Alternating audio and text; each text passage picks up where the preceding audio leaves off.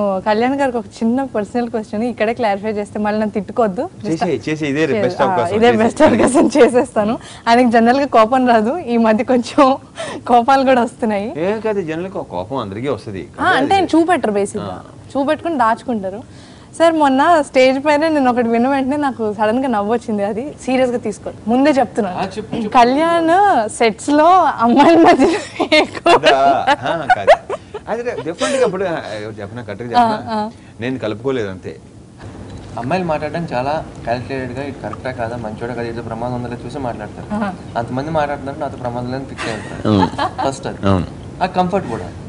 Simple దాని తర్వాత ఇంకొక మాట కూడా అన్నారు నువ్వు ఫస్ట్ కొంచెం ఏమన్నా ఆడాళ్ళ మధ్యలో ఉంటాడు అందరితో ఒకలాగే ఉంటాడు అందరితో ఒకేలాగా ఉంటారు నేను జూనియర్ ఆర్టిస్టులు కూడా నేను అసిస్టెంట్గా పనిచేసినప్పుడు నాకు తెలిసిన జూనియర్ ఆర్టిస్ట్ కృష్ణార్లో ఉన్నాడు. ఇప్పుడు కూడా షూటింగ్ వచ్చాడు. వాళ్ళు సిక్స్టీ ఫైవ్ సెవెంటీ ఇయర్స్ ఉంటారు వచ్చిన వెంటనే ఫస్ట్ వచ్చి చేతులు పట్టున హక్ చేసిన మాట్లాడతారు.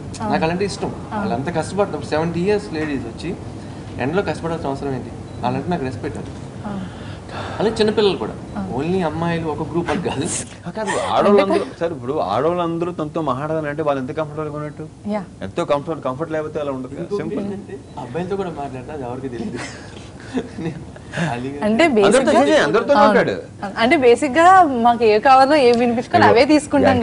చెప్పనా? బేసిక్గా ఇప్పుడు మగవాళ్ళ కంటే ఆడవాళ్ళతోనే ఎక్కువ మాట్లాడడానికి ప్రిఫర్ చేస్తాం. క్లియర్